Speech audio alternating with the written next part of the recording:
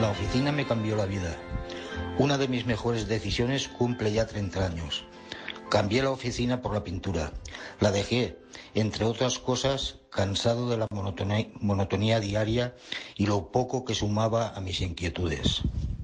El bolígrafo y el monocolor constante los cambié por los pinceles y una gama de colores que me llenaban y siguen llenando de frescura, colorido y libertad para trabajar en lo que mi corazón siempre quiso y no pudo ser.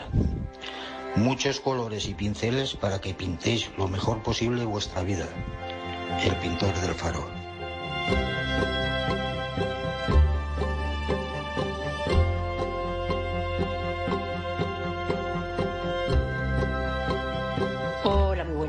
Como jefa de estudios, cuántas horas pasé en mi despacho. Sabía la hora de llegada, pero nunca de salida. Los alumnos amonestados decían, tengo que pasar por la oficina, por mi despacho, para que les diera el parte correspondiente.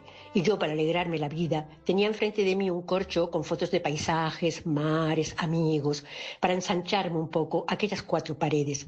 Os dejo con Mario Benedetti, Kindergarten, de poemas de la oficina. Vino el patrón y nos dejó su niño. Casi tres horas nos dejó su niño, indefenso, sonriente, millonario, un angelito gordo y sin palabras.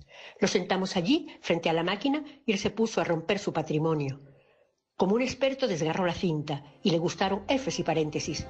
Nosotros, satisfechos como tías, lo dejamos hacer. Después de todo, solo dice papá, el año que viene dirá, está despedido y no sea idiota. Besos, Carmen París desde Antigua Guatemala.